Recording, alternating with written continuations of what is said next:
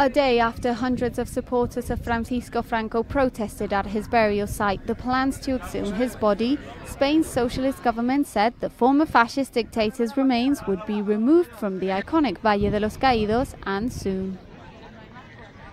Responding to suggestions from Spain's Director General for Historical Memory that Franco's relatives could scuttle the socialist plans, Infrastructure Minister José Luis Ábalos on Monday denied the existence of any sticking points with the Franco family and said the decision had already been made and would be promptly implemented.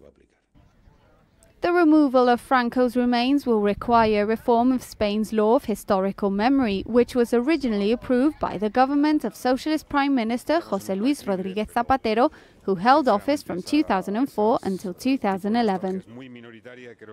Zapatero said on Monday that the fact that the current government was seeking to establish a legal basis for the move was reasonable and said he was convinced that it would be done well, while dismissing the anti exhumation demonstrators as belonging to a nostalgic minority that should be free to protest but not be afforded too much importance.